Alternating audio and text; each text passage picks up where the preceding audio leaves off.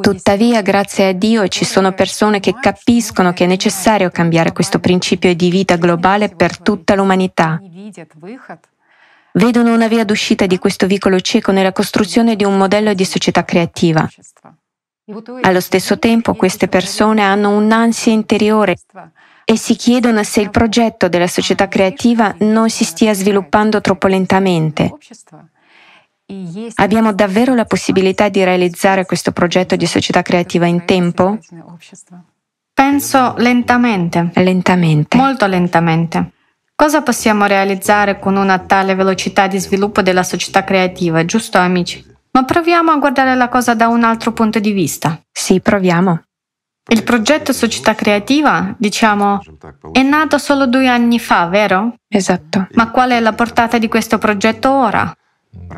È enorme. Sì. Citatemi un'organizzazione o un progetto che abbia mai avuto una tale velocità di crescita nel mondo. Da questo punto di vista la situazione è buona. È così. Guardiamo le cose anche da un altro punto di vista. Nessuno ha investito fondi in questo progetto.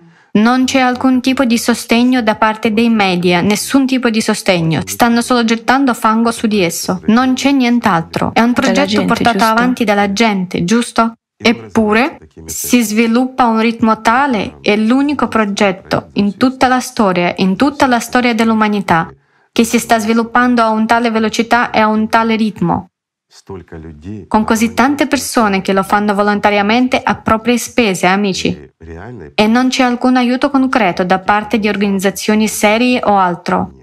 Dunque, si sta sviluppando lentamente? Eh, quindi la coscienza inganna, giusto? Sapete chi è che dice che il progetto si sviluppa lentamente? Quelli che non fanno nulla. Anche alcuni dei nostri partecipanti dicono, beh, cosa vuol dire che si sta sviluppando? Dove? Non c'è niente. Ma chi lo dice? Ancora una volta, coloro che non partecipano ai progetti, coloro che non incontrano le persone. In pratica, coloro che sembrano partecipare al progetto Società Creativa, ma che invece non sono interessati a nulla e non... Che guardano da lontano. No, da lontano. Ci sono persone che guardano da lontano in generale, mentre quelli di cui stiamo parlando siedono molto vicino ma non vedono nulla al di là della loro stanza. Comunicano solo con coloro che vedono, quindi dicono non c'è più niente lì e questo è tutto. Come sarebbe cresce lentamente? In realtà cresce ad una velocità molto elevata. Rispondendo poi alla seconda domanda, e cioè se faremo in tempo o no, io direi amici miei che dipende da noi se faremo in tempo o no. Anche in questo caso alcuni dei nostri amici che sentono parlare per la prima volta del progetto Società Creativa e che ci osservano per caso diranno dove dovremmo arrivare in tempo. Dove correte? Sì, dove correte? Ecco, a questa domanda vorremmo e dobbiamo rispondere in qualche modo con dolcezza. Diciamo che dovremmo costruire la società creativa prima che la società consumistica in cui viviamo ora ci porti a qualcosa di inevitabile, per usare un eufemismo. Allora faremo in tempo o no? Se lo vogliamo, faremo in tempo, giusto? Igor Mikhailovich, stiamo vivendo in un tempo di crisi, un tempo così turbolento, molto difficile. Molto difficile. Possiamo dire che in questo momento è più difficile sviluppare la società creativa?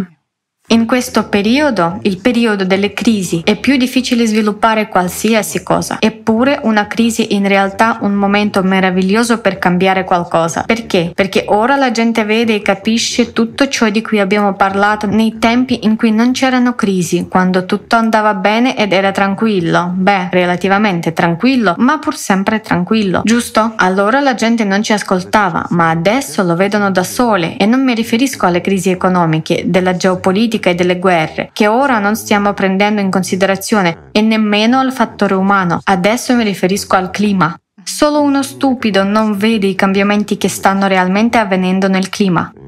Qualsiasi persona media che sappia almeno calcolare cose semplici, come 2 più 2 e simili, può sommare tutto e vedere la progressione con cui tutto questo sta aumentando. Con tutto questo intendo i cambiamenti climatici disastrosi e che stanno aumentando a una velocità tale che si può calcolare quanto tempo ci rimane ancora a noi come umanità per esistere in condizioni più o meno normali. Non c'è molto tempo. Ma la società creativa può effettivamente cambiare le cose. È la cosa più accettabile per tutti, giusto? Giusto. Voglio giusto. dire, è l'unica forma accettabile, non c'è altro modo di chiamarla che andrebbe bene quasi per tutti. Beh, ci saranno certamente persone a cui non andrà bene. C'è sempre una Baba Yaga che si oppone a tutto. Questo è vero. Perché? Perché la società creativa implica l'assenza di potere di qualcuno sugli altri. Nel frattempo, alcune persone che non hanno alcuna possibilità di avere questo potere, ma che vogliono averla in futuro, si arrabbiano. Non è così?